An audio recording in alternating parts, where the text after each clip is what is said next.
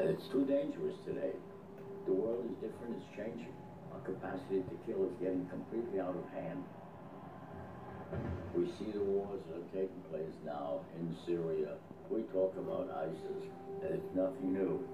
Part of the reason you had cases like Rwanda and Cambodia and Biafra and Darfur and Bosnia and all these things is that it's not at all clear that if you participate in such crimes, you'll actually pay for it.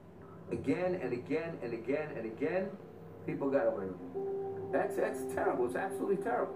Without history, there is no memory. Without memory, there is no future. If we don't learn from the past, we repeat the same mistakes again.